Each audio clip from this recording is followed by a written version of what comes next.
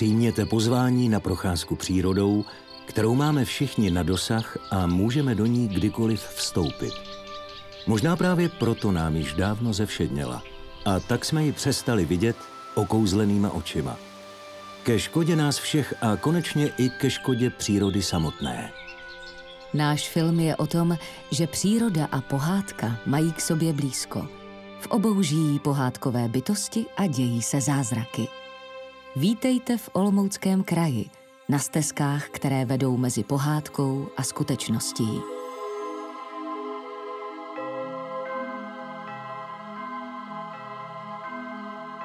Pohádku tu zimní, kdy jiskří sníh a stromy se proměňují v podivuhodné bytosti z příběhů Hanse Christiana Andersena, můžeme zažít v Jeseníkách.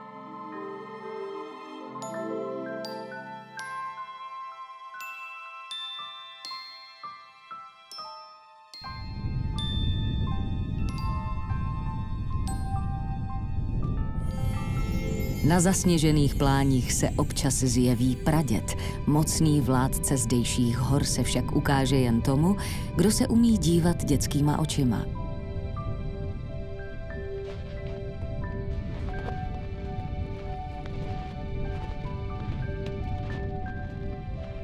Naposledy ho zahlédli u Níznerovských vodopádů. Z ledových pohárů prý nejraději popíjí své elixíry –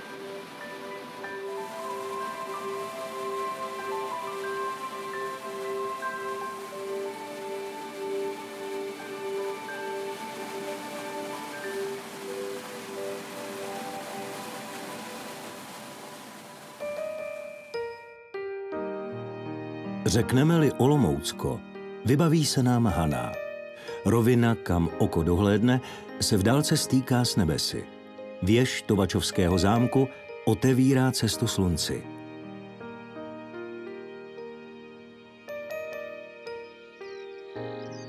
Zlato spadlo do obilných lánů kolem svatého kopečku a poutního kostela v Dubu.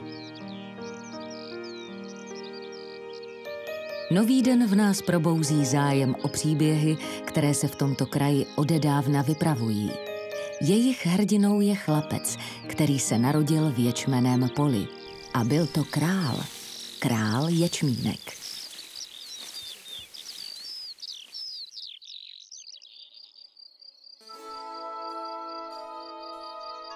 Touto krajinou kolem Velkého kosíře se rád toulal malíř Josef Mánes. Krásu zdejší krajiny i lidí štětcem přenášel na svá plátna.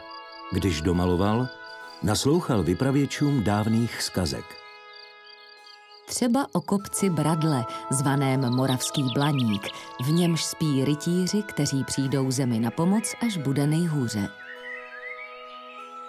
Z vrcholu Bradla mezi Úsovem a Libinou, nedaleko Mohelnice, vyrůstá skála – Mýtičtí strážci země odtud dohlédnou jak do Ječmínkova, tak i pradědova království.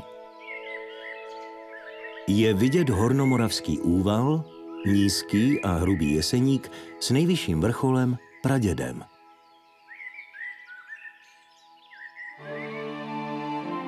Při pohledu z rozhledny na Bukovém kopci nad Šumperkem se hřebeny hrubého jeseníku podobají pravěkému valu jako by ho postavili obři k ochraně krajiny pod horami.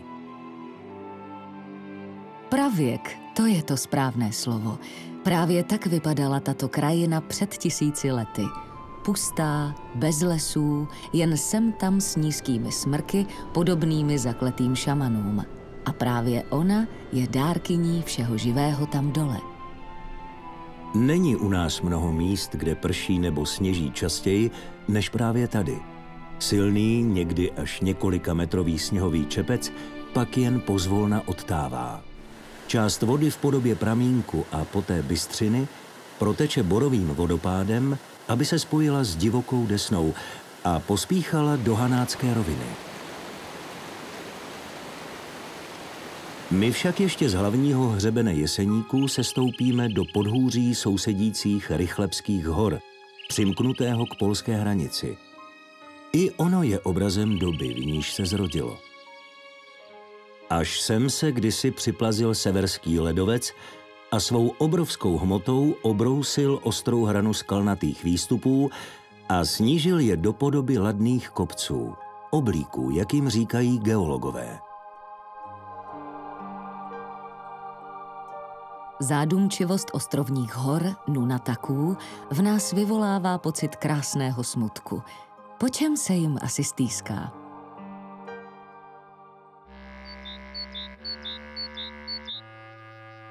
Ledovec zde zanechal svůj viditelný podpis v bludných balvanech, které jsem během ledových dob ze severu tlačil před sebou.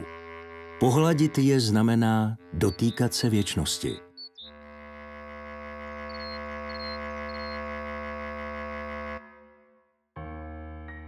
Když ledovec umíral, plakal a jeho slzy pod zemí vytvořily jeskyně, jako je tato na špičáku.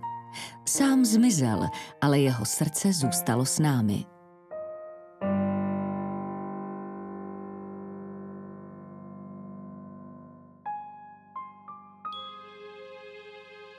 V podzemí je vše na svém místě po miliony let. Na povrchu naopak všechno někam pospíchá. Jako tyto kameny na Břidličné hoře, na vrcholu jižní části hlavního hřebene Hrubého jeseníku – Budí sice dojem, jako by tu řeka skameněla zakleta zlou vílou a vše se zastavilo. Je to ale pouhé zdání.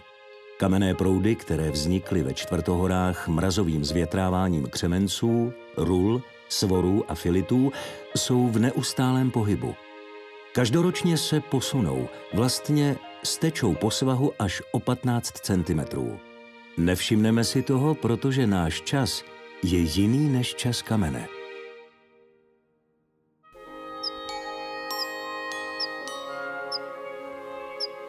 To život v pradědově zahrádce má stejný rytmus jako náš lidský. Je zde stále na co se dívat, co pozorovat. Květy starčeků jsou pastvou nejen pro naše oči, ale i pro motýla okáče horského –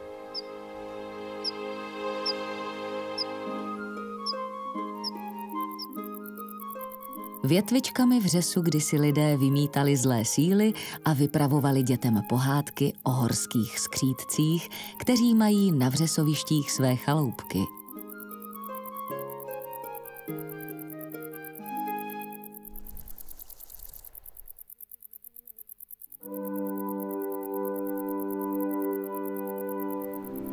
Setkat se s pánem horské zvířeny a jeho fraucimorem se podaří málo komu – na svůj aristokratický původ je jelen, jak se patří, pyšný, byť nemá zlaté parohy jako jeho pohádkový druh. I kamzíci uznávají jeho svrchovanost a drží se skromně opodál. Chvíli jsou na Moravě, chvíli ve Slesku. Jsou jim lhostejné hranice vymyšlené lidmi, kteří potřebují něčemu a někomu vládnout.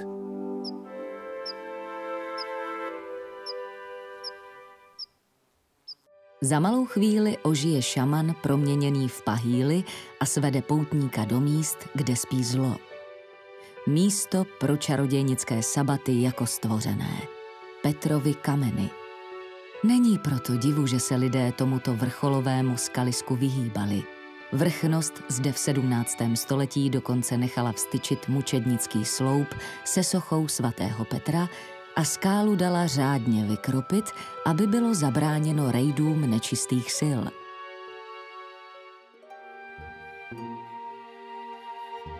Čarodějnice naštěstí zmizely v propadlišti dějin. Přesto se Petrovým kamenům raději vyhněme. Skrývají poklad, který zaslouží ochranu. Jsou jím vzácná společenstva rostlin, mimo jiné endemický zvonek jesenický, který neroste nikde jinde na celé země kouli, jen tady –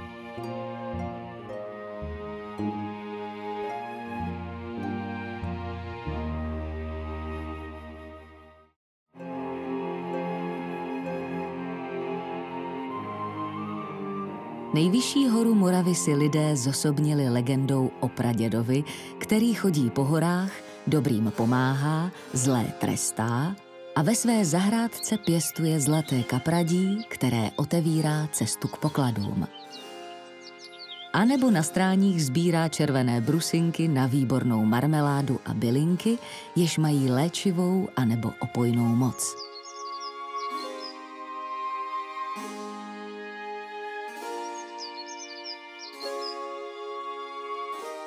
Třeba medvědí kořínek, jak se říkalo koprníčku, ten je dobrý na žaludek, podobně jako hořec tečkovaný. Lékárnu, kde míchá svoje bylinné lektvary, má pradět na Červené hoře v podzemí hradu připomínajícího skalní okno. Nejspíš to však bude jinak. Podle podoby skály se zrodila pověst o šlechtickém sídle, které zde stálo ve 12. století.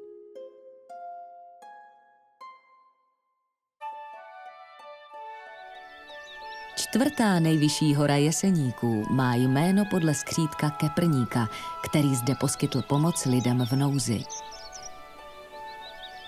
Skála je mlčenlivým pomníkem oné dávné, již zapomenuté historie.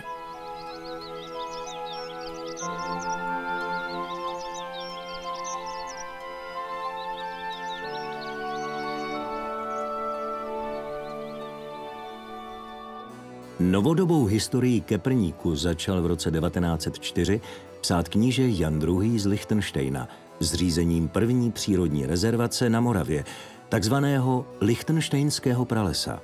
Pro naše předky byl takový les domovem mnoha pohádkových bytostí z příběhů bratří Grimů. A každý, kdo šel po lovecké cestě, která jim vedla, spěchal a neohlížel se. 172 hektary lesa nedotčeného zásahem člověka jsou pro většinu z nás neznámým mikrosvětem. Ve věčném přítmí přicházejí na svět a odumírají desítky, možná stovky rostlinných i živočišných druhů. Pro drobné živočichy jsou tlející kmeny spadaných stromů tím, co mrakodrapy pro obyvatele Manhattanu.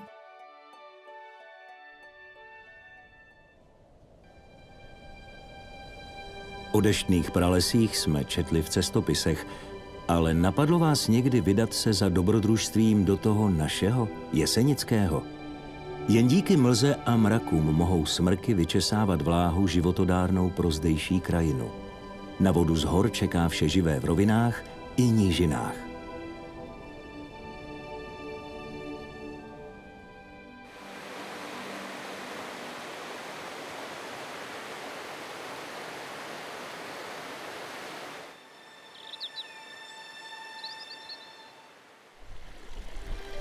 Tento pramen je pro zemi, která podle něho dostala jméno, zvláště důležitý. Morava. Jsme na střeše Evropy, jak je králický sněžník, kde Morava pramení nazýván. Vody z východního svahu stékají do moře Baltského.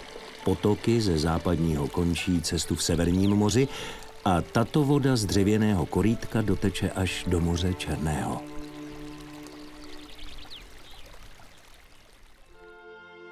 Tam někde pod námi je kraj, kam nás řeka doprovodí. Haná.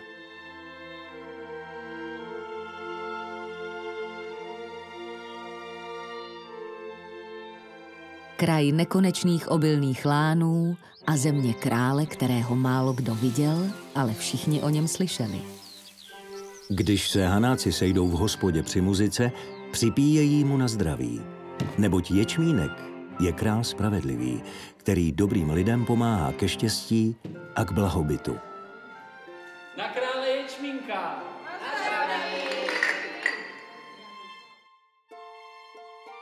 Pověst o Ječmínkovi nahané znají i děti. Narodil se v Ječmeném poli, kam se jeho matka schovala před násilnickým manželem, pánem Chropinského zámku. Ječmínek nezapomněl na to bezpráví. Zjeví se a pomáhá vždy tam, kde se děje lidem křivda a zase zmizí. Kde se asi skrývá král z hanacké pověsti?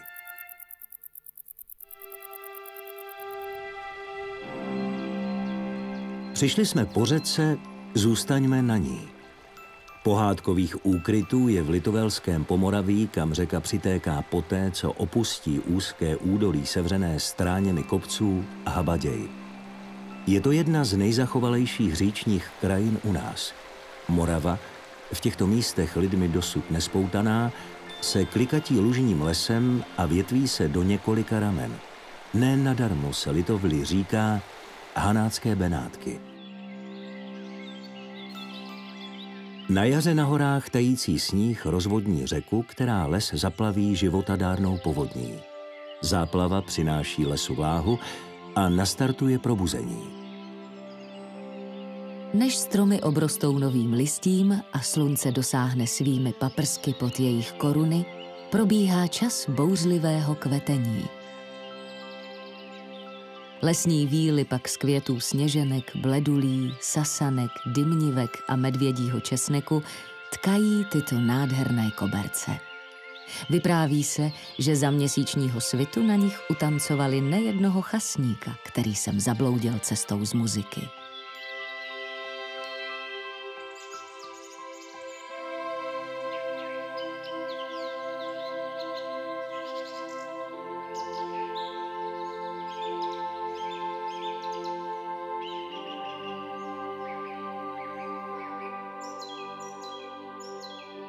Všechno, všecičko doslova bují. Ve vodě, na zemi i pod zemí. Živo je i tam, kde voda dosud neopadla.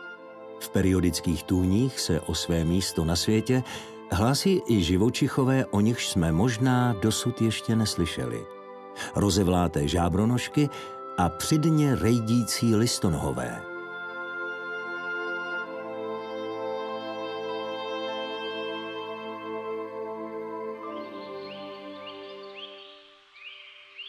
pozdním jaru návštěvní hodiny v obrazové galerii končí, neboť bujná zeleň uzavřela les neprostupnou hradbou hustých keřů, větvový, šlahounů, ostnatých prutů, pálivých kopřiv i mračny komárů. Princ, který by chtěl polipkem probudit zdejší šípkovou růženku, má stejně jako my jedinou možnost – nasednout na člun a vydat se po řece.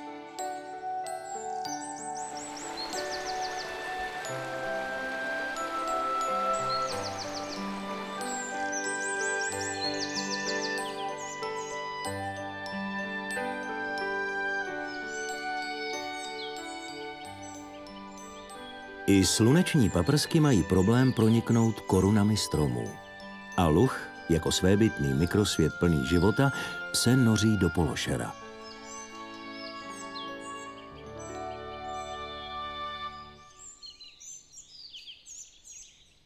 Život se náhle probudí i v kmenech stromů již trouchně vějících. Právě v nich nalézají savci, ptáci, brouci a množství dalších organismů místo k bydlení i obživu.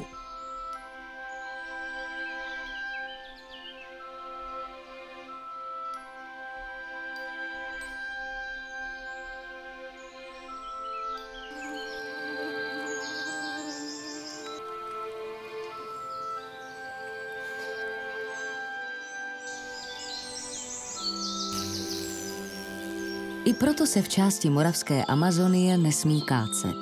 Litovelské Pomoraví, kus řeky s lužním lesem, přísně chráníme sami před sebou, aby se i naši vzdálení potomci jednou mohli vydat, tak jako hrdinové filmu Karla Zemana, na svou cestu do pravěku.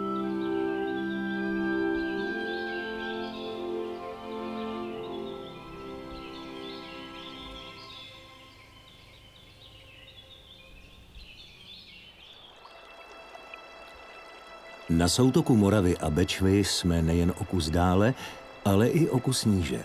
Výškový rozdíl mezi pradědem a tímto místem je 1250 metrů. Nechejme se dál vést řekou Bečvou. Protéká pomezím Moravy a Slezska, Moravskou bránou, kterou již po staletí střeží hrad Helfštín. Po Jantarové stezce spojující po Baltí se Středomořím tudy putovali lidé již za pravěku. Kam nás přivede dnes?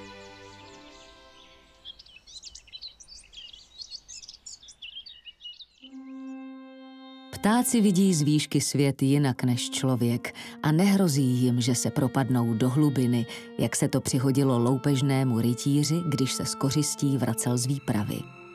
Pověst praví, že jeho duch bloudí podnes si dole v hlubině hranické propasti, která je se 474 metry nejhlubší zatopenou propastí na světě. Kdysi to byla jeskyně, jejíž strop se zřítil do hlubiny nahlodaný kyselkou, která prostupuje z velké hloubky zemskou kůrou. Oxid uhličitý, jímž je sycená, vydechuje jezírko na dně propasti i řeka Bečva již po dlouhá staletí.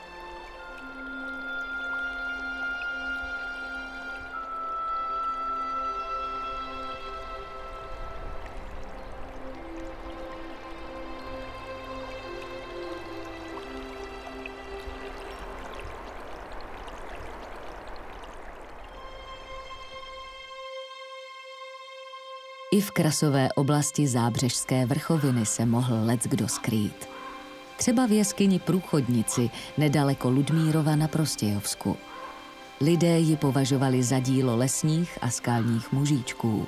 Ve skutečnosti však vznikla před desítkami milionů let působením povrchové vody v trhlinách vápence. Její chodby jsou domovem vzácných netopírů a vrápenců.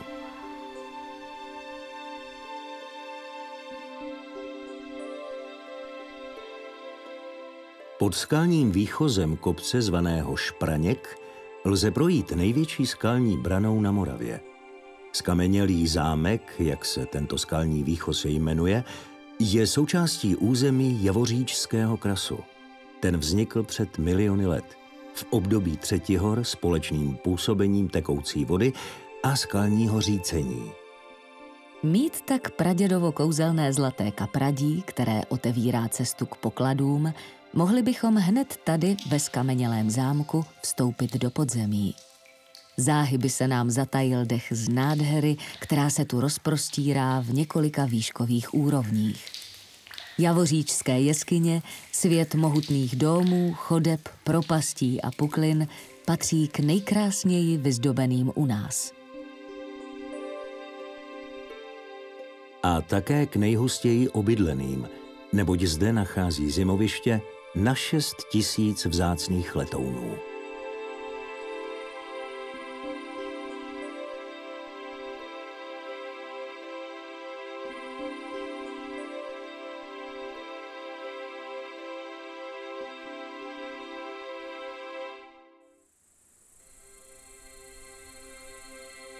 Příroda je kolébkou nejen květin a živého tvorstva, je i kolébkou každého z nás – my žijeme uprostřed krajiny, jež má k té pohádkové stále ještě blízko.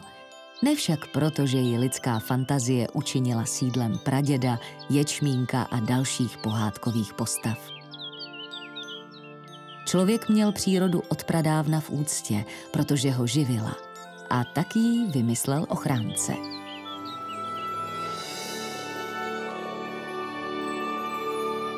Pohádku současné přírody píše ten, kdo vybudoval rybníček pro žabáky, stejně jako ten, kdo se při práci v lese chová ohleduplně k trsům orchidejí.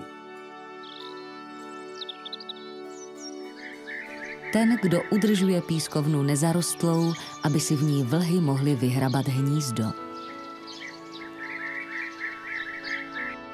Ten, kdo nechá vyhnízdit motáka lužního uprostřed pšeničného pole. Ten, kdo vysadil stromy a keře podél cesty uprostřed polí.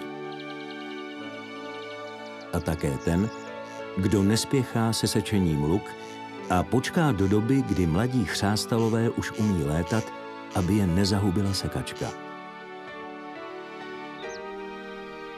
I všichni ti, kdo se starají o louky, aby v nich rostlo hodně lučních květin.